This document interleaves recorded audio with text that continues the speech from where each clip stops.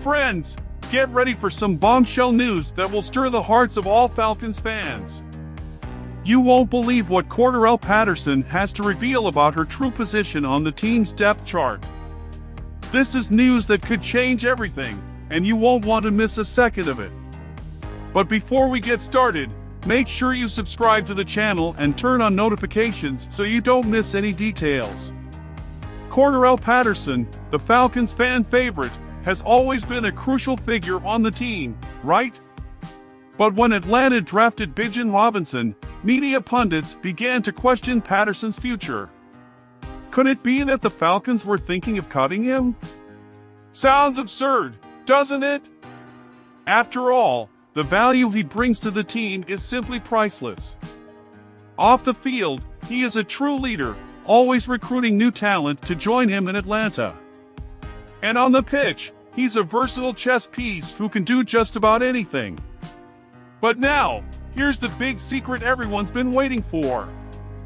The Falcons decided to create an unprecedented position on their depth chart exclusively for Cordarrelle Patterson. And believe me, this is not something that happens every day. They listed him as a starter at the Joker offensive position. That position that is normally reserved for players who can play multiple roles in passing and running games. Amazing, isn't it?